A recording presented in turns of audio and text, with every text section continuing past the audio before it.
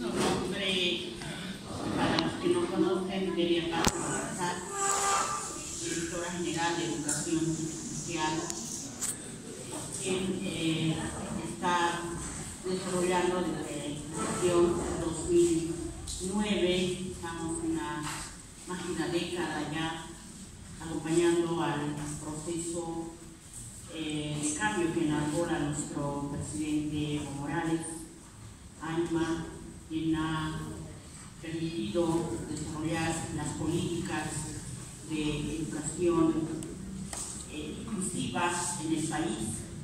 Muy importante remarcar y denotar las miradas y los paradigmas que han ido cambiando a lo largo y al transcurso de todo el proceso de consolidación desde la colonia, desde la época republicana y cómo se ha ido construyendo el Estado plurinacional a través de los movimientos sociales, fundamentalmente con la constitución política del Estado. Ustedes pueden observar unos cuadros, eh, si me permiten, para que podamos eh, mostrar a todos y todas, por favor.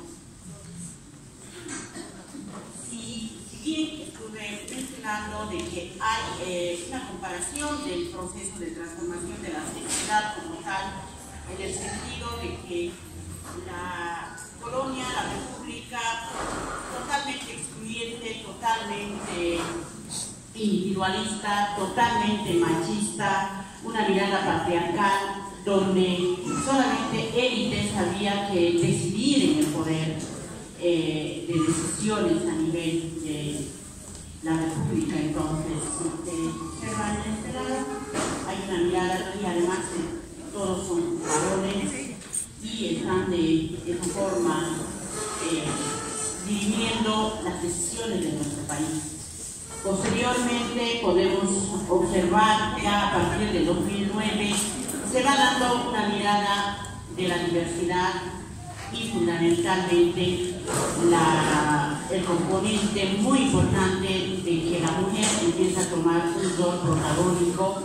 Y es importante decirlo en la Asamblea Constituyente, uno de los eh, artífices y pioneros también de que una constitución política tenga la fuerza social como es la nuestra, es el eh, ministro licenciado Roberto eh, Aguilar, actual ministro, quien ha podido ser eh, parte de la Asamblea Constituyente antes de desarrollar la Constitución Política del Estado, con la hermana Silvia Lazarte, que es una mujer de organizaciones sociales que ha presidido, y ahí tenemos el componente de, la, eh, de las naciones indígenas originales campesinas como la Quechua, Aymara, etc., y muchas más.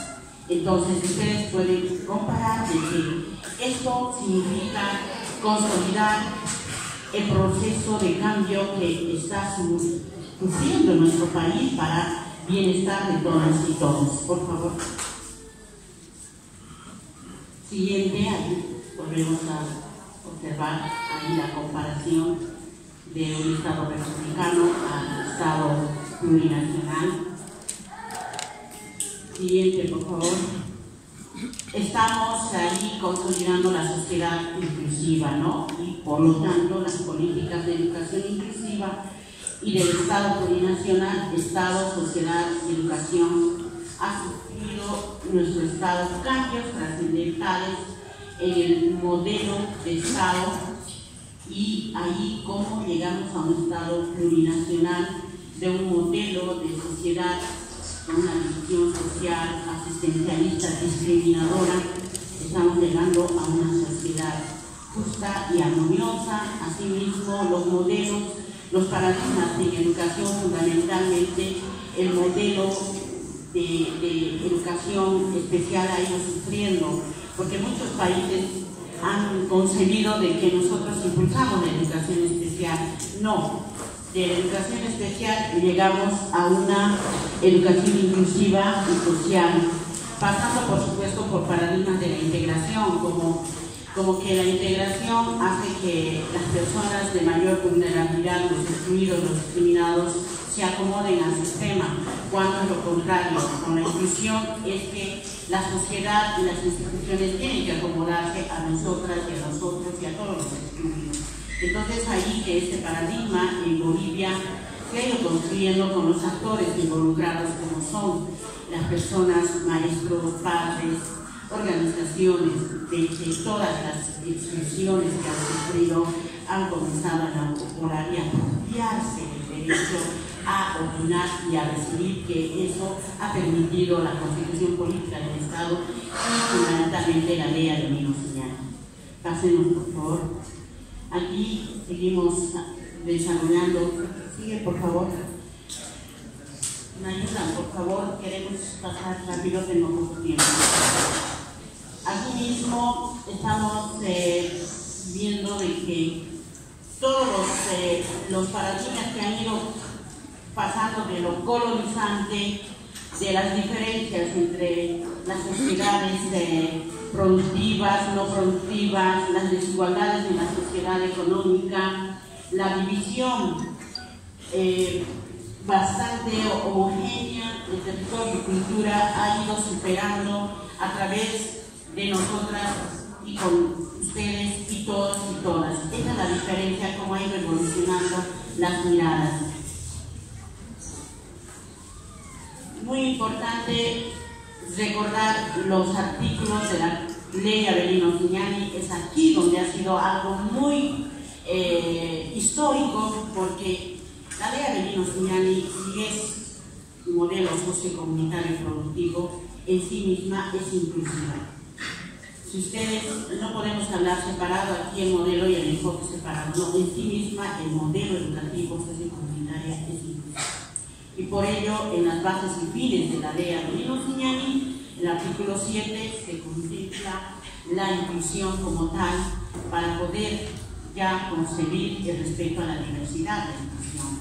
Entonces, es allí que la ley Avelino Signani comienza ya a consolidar los enfoques y los paradigmas que van a una mirada totalmente de derecho y en general. Asimismo, la constitución política vuelve a, retomar la ley de para poder dar fundamentalmente el hecho de que partimos de los mandatos de la constitución política y estamos plasmando en la ley Avelino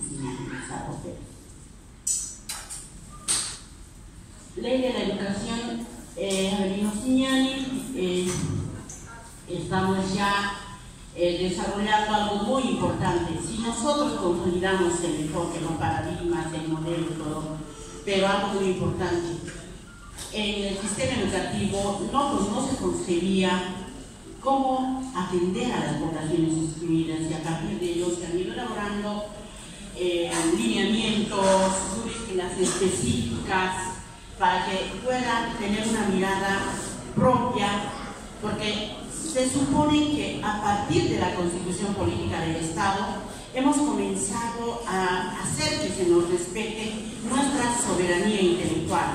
Muy importante aquello porque como bolivianas y bolivianos ya no hemos exportado o nos han aculturado con ideologías y paradigmas que muchas, eh, ustedes recordarán eh, los de la Confederación que nos acompañan aquí, eh, la lucha constante y permanente de que eh, todo venía enlatados intelectuales, basura intelectual de, Europa, de los grandes intelectuales, esa era la lucha. Por el contrario, la ley Avelino Siñani ha comenzado a aperturarnos y a trabajar juntos y construir juntos la ley misma y es ahí donde se ha introducido con mucha fuerza la mirada de la inclusión y el hecho de desarrollar lineamientos metodológicos de la educación inclusiva, que eso es el, llamar el Bolivia, ¿no es cierto? Porque si los 27 países que discuten estas temáticas, pero Bolivia ha comenzado a apropiarse fundamentalmente de la construcción y de construcción con los actores involucrados. Entonces es ahí que ya se, se ha introducido la base legal en la ley de la allí donde se encuentran los instrumentos, los lineamientos en el sistema educativo plurinacional. Por otra parte, eh, tenemos eh, algo muy importante que nos ha permitido la ley Divino Señor, es el acceso y permanencia de las personas que han sido discriminadas. Porque el acceso y permanencia es muy importante, no solamente aperturar una institución para que accedan, sino que permanezcan con condiciones de equiparación, fundamentalmente. Para ello estamos ahora. No es solamente que ingrese una persona con discapacidad, por ejemplo, pero que no le demos las condiciones donde sentarse, cómo sentarse, cómo expresarse, como ahora tenemos la lengua de señas, que todas las personas sordas ya están comunicándose entre nosotros e informándose. Eso es acceso, esas condiciones. Por favor. Seguimos. Los diferentes conceptuales. Esto es muy importante porque no podemos cesarnos, no podemos enajenar también la intra, lo inter plurinacional. Cuando hablamos de lo inter, estamos hablando de las ODS, los eh, análisis que desarrollan también eh, en la ODS 4, donde garantiza una educación inclusiva, eh, equitativa y de calidad, promover oportunidades de aprendizaje a lo largo de toda la vida para todas y todos. Esto se ha discutido en la internacional, que hubo un encuentro donde estaban todos los confederativos de los maestros, maestras, y es ahí donde se ha discutido en la ODS muy fundamental para que podamos enarbolar a nivel de todos los países esta temática de la inclusión, que no solamente es una tarea educativa, sino es una tarea ya del Estado plurinacional como tal asimismo de los países en convenio a nivel internacional. Entonces ahí nos permite analizar tres aspectos fundamentales, ¿no? La educación eh, sociocomunitaria, educación comunitaria y los tres aspectos que nos van mostrando es para el vivir fundamental.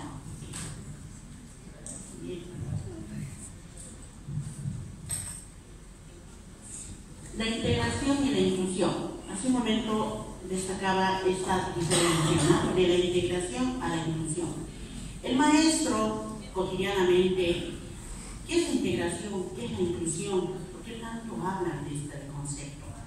La integración no es nada más, nada más es que le obligas a la persona a pensar como tú quieres, a sentir como tú quieres, a actuar como tú quieres, estás forzando a que sea como tú. cambio, la inclusión, lo contrario, que tú te pones en el lugar de la persona, comienzas a mirar eh, eh, en el sentido de la conclusión de ponerse en el lugar de.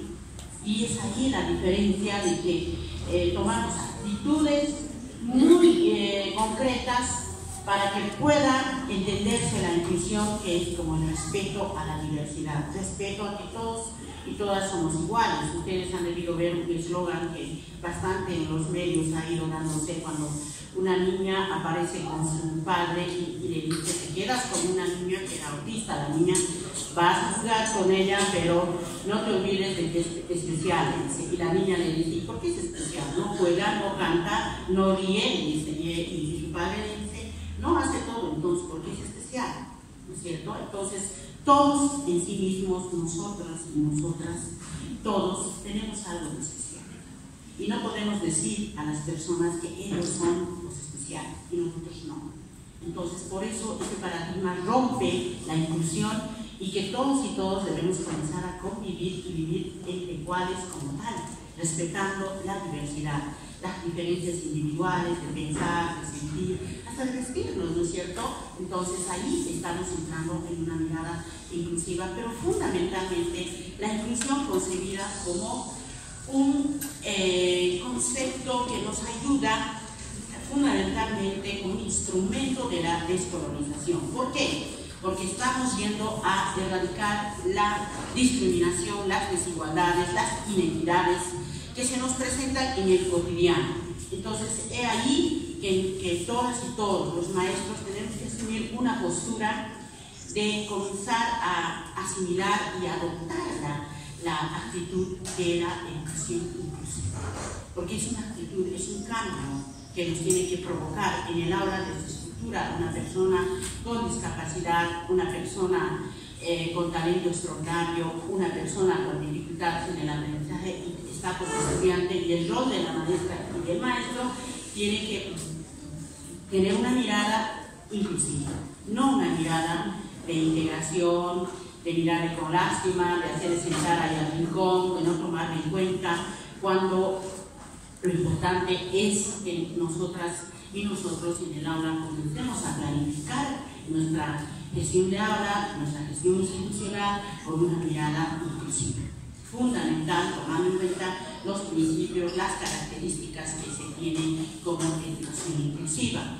Y es ahí que las políticas como tal, desde el sistema educativo del ministerio, ya van con esa mirada y trasciende a todos los sistemas, regular, superior, alternativa, porque no es solamente hablar de alternativa y especial, sino es hablar de todo el sistema educativo como tal, con una mirada totalmente eh, inclusiva en el sentido de que todas y todos tenemos el derecho a ser tratados con el respeto, porque no solamente hablamos de la discapacidad, no entiendan que inclusión es solo hablar de la discapacidad, no, hablar de todas las personas, personas incluidas, nosotras como mujeres que estamos luchando cada día para que el hombre nos mire de igual a igual en el sentido cultural, social, ¿no es cierto? Entonces, es ahí que, que, trasciende de las tres poblaciones que nos ha tocado atender pero eh, va entendido a todas las poblaciones. ¿Sí? Siguiente, por favor. Bueno, aquí estamos ya eh, también eh, haciendo conocer las poblaciones que, que atienden como subsistema hacia el sistema educativo, que son la alfabetización, la post-alfabetización, la educación especial, educación alternativa, certificación de competencias, las, las eh, cuatro unidades ejecutoras que se encargan también de atender a poblaciones excluidas, como ayer ustedes han podido escuchar al hermano Eugenio Lazarte, que ha podido hablar de la certificación de competencias. Así el hermano Ramiro, la hermana Silvia, que van también atendiendo a poblaciones excluidas y como tal, todo el sistema hacia el sistema educativo eh, desarrolla acciones para que todas y todos los maestros no tengamos que mirar parcelado el sistema educativo, sino coexiste en un sentido de que nadie se va a sorprender de que trabaje con un adulto, trabaje con una persona anciana, con una persona que está con discapacidad, etcétera, etcétera. Tenemos la diversidad y es ahí muy importante que estamos haciendo la incidencia. Bien, por favor. Volvemos a decir qué poblaciones atendemos, ¿no? Atendemos las, eh, eh, la población de alternativa especial, alfabetización, posalfabetización, eh, los estudiantes mayores de 15 años, las organizaciones y comunidades, organizaciones que, que, van ingresando al sistema educativo a partir de los 15 años para adelante, eh, los estudiantes con discapacidad en todo el sistema educativo. Entonces, estudiantes, personas mayores que no han tenido oportunidad de estudiar, pero ya están ejerciendo el derecho como tal en el sistema educativo plurinacional. Muy importante entonces aquello eh, que podamos eh, conocer la estructura y las poblaciones que cualquier momento un docente puede estar eh, desarrollando este, este, encuentro ¿no? con las poblaciones. Por favor, siguiente. Una metodología muy importante que nos toca desarrollar para poder atender de manera oportuna, pertinente, con equiparación de condiciones, en igualdad de condiciones. Muy importante ¿no? el hecho de la oportunidad que nos permite erradicar la extrema pobreza. Cuando una de ustedes que está aquí eh, escuchando en vivo y en directo ese taller internacional, tiene oportunidad, pero hay muchos que no la tienen. Por eso las oportunidades generan y nos ayudan a erradicar la extrema pobreza porque el, el, Estado plurinacional, el sistema educativo plurinacional, tenemos la obligación de generar oportunidades para todos y todas, no solamente para una élite, en el aula lo propio, en la institución lo propio, pero el común denominador de todo ello para que armonicemos esas inequidades, fundamental desarrollar procesos de participación sociocomunitaria con una estrategia de sensibilización. Si nosotros y nosotras no comenzamos a analizar el fondo de contemplar a las poblaciones que por muchas décadas no han tenido el derecho como nosotras y nosotros, pues no vamos a entender. No es solamente informarse, sino analizar, meditar y la concienciación que nos ayuda a cambiar de actitud. Muy importante esta estrategia de sensibilización que es un común denominador para consolidar la política de educación inclusiva.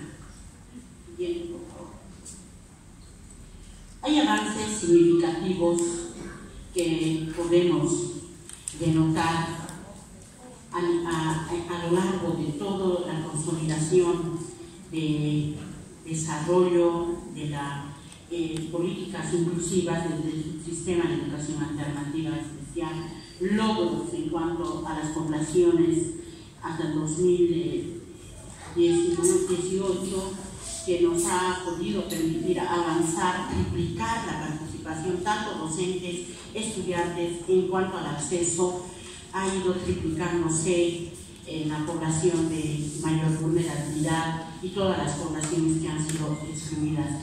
Estos logros son cuantitativos, cualitativos y estamos desarrollando conjuntamente con los actores dónde tenemos que incrementar, dónde tenemos que comenzar a eh, que la población no solo sea reducida, sino que todos y todos llegar a los más de 380 mil que están en el centro de las personas de mayor vulnerabilidad, tenemos que llegar a cubrir a nivel del Estado nacional. Estoy hablando de la ciudad tenemos que llegar al área rural, a la periferia, a todos. O sea, el Estado plurinacional tiene que estar presente en todos los contextos, ámbitos, como en este caso, ya los eventos en Pando que no se desarrollaban, es una mirada también de hacer presencia del Estado plurinacional y por ello tenemos los datos de avances. Eh, cuantitativos, tanto en educación alternativa como en educación especial. Los totales que tenemos de 6.891 a 22.167, la población, ustedes pueden ver cómo a nivel subsistema ha ido incrementándose, ha ido aumentando, a nivel de alternativa especial propio de 120.780 a eh, 379.108 eh, la población, cómo ha ido eh, eh, haciendo que el acceso y la permanencia esté garantizando el derecho, el ejercicio del derecho a educación. No solo el derecho que está ahí en la letra, sino el ejercicio. ¿Quiénes son los responsables de que ejerzan el derecho de todas las poblaciones? Por supuesto, nosotras y nosotros, todas y todos. No solamente es el rol del maestro o la maestra que nos, entre comillas, el padre, la madre, la segunda madre, el segundo padre, no. Es todas y todos los actores. En corresponsabilidad, la familia, los actores, todos somos corresponsables de que haya una educación de calidad. Por favor. Entonces, eh, aquí estamos también eh, mostrando las cifras que han ido avanzando a nivel de la comparación del 2002 al 2018, ¿no? 127.671 a eh, 406, 275 la población en alternativa y especial, eh, en alternativa, perdón, y en especial pues el triple, ¿no? Eh, incrementándose de 6.000 a más de 23.000 fracción. Siguiente, por favor. Siguiente. Siguiente. Entonces, estamos nosotras y nosotros con la tarea fundamental de que comencemos a informar e informarnos. La persona con discapacidad, que es la mayor, la mayor población de vulnerabilidad, ya no puede excusarse de decir, yo no puedo estudiar. Tenemos el acceso a las escuelas superiores de formación de maestros con su carnet de discapacidad. Tenemos el acceso a las universidades autónomas sin examen de para las personas con discapacidad. Se tiene becas. Ya tenemos de esa, hemos eh, logrado la inclusión plena en el sentido de que las personas con discapacidad, dos a tres generaciones que ya son maestras, colegas de nosotras y de nosotros, que van a impartir la educación inclusiva en su misma comunidad. En este caso estamos hablando maestros sordos con estudiantes sordos. Personas ciegas con estudiantes ciegos en los centros de educación especial.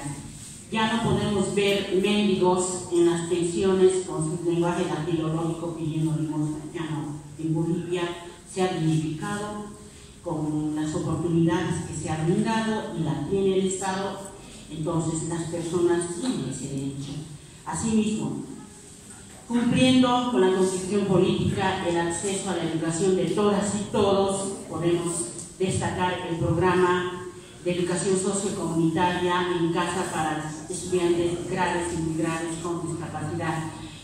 La maestra ingresa a la casa, el padre de familia trabaja con el maestro, declaración jurada de los padres, para que pueda asistir, apoyar a la maestra en casa. Esto es algo muy importante que debemos conocer, donde los maestros conviven, interactúan el desarrollo del estudiante juntos. Y ya tenemos un bachiller en Oruro, en Cochabamba también, de este programa, y es donde las maestras voluntarias que tenemos eh, bajo un decreto, ellos no van a niños de provincia, adquieren ascenso de categoría en este programa, así como una cosa Entonces, eso nos permite valorar de que es una educación que está al servicio y cumpliendo el acceso al derecho a educación de todas y todas. Asimismo, las personas con discapacidad, madres, padres, cuando ingresan, ellos no eh, van a años de provincia. Entonces, tienen bastantes oportunidades, ¿no? Y por ello es muy importante que cuando ustedes vuelvan a sus lugares puedan hacer tomar conciencia de sí para sí que las personas con discapacidad ya no observarles que no pueden, por el contrario, sí pueden como todas y todos nosotros. Entonces, esta eh, mirada un poco genérica de lo que ha ido avanzando el Estado plurinacional a través del Ministerio de Educación, muy importante hacer conocer a toda la sociedad de que sí estamos logrando la eh, mirada inclusiva, rompiendo los paradigmas conductistas y constructivistas, que ahora tenemos ya una mirada totalmente boliviana en el sentido de que hemos construido el modelo, el enfoque como tal, para que Bolivia esté comenzando a consolidar una mirada de igualdades y no desigualdades, ¿no? Entonces, fundamental que compartamos, difundamos aquellos derechos que por muy mucho tiempo los gobiernos neoliberales no han atendido a esta población. Y por ello me permito eh, indicarles que antes a, las personas con discapacidad fundamentalmente se les tenía con un chocolate y, ahí se les conformaba asistencialismo, ¿no? pastor. En cambio ahora no, se les han oído los derechos y las oportunidades que tienen. La otra población que tenemos como es talento extraordinario, también irregular, estos niños también tienen su reglamento, tienen oportunidad de trascender, han ido a la NASA, han ido a países europeos como Rusia, estudiantes que han salido, han trascendido de Bolivia con este programa, que son los talento extraordinario. Dificultades en el aprendizaje del propio, seguir instrumentos de detección, de escritura, razonamiento lógico y esto permite que educación regular, que es la base fundamental, la primaria, puedan eh, mejorar la atención a maestras y maestros con esos instrumentos. Lo propio, la alfabetización ah, está erradicando la extrema pobreza. ¿Por qué? Porque está comenzando a entrar a la técnica productiva, al igual que todas y todos. Ayer se ha hablado bastante de esta área, que también está fomentando el derecho a la educación de la persona adulta y no solamente quedarse con la teoría, sino entrar a producir y hacer sostenible, muy importante aquello, como las personas jóvenes y adultos que ya no hay excusa de los jóvenes a que no se puedan superar. Y todo esto se va a ir construyendo paulatinamente cuando nos apropiemos de esta mirada y de ese paradigma de la eh, mirada inclusiva. Y no es nada más que comenzar a rebuscar toda la bibliografía, absolutamente toda está en la página web del Ministerio, se centran y entran al link donde está educación especial o su sistema de alternativa especial, está toda la bibliografía desde los módulos, instrumentos, toda consulta está ahí para que puedan ustedes entender de, lo que estamos hoy hablando por el tiempo tan corto. Esta mañana nos toca trabajar. Quiero agradecerles a todas y todos por habernos atendido.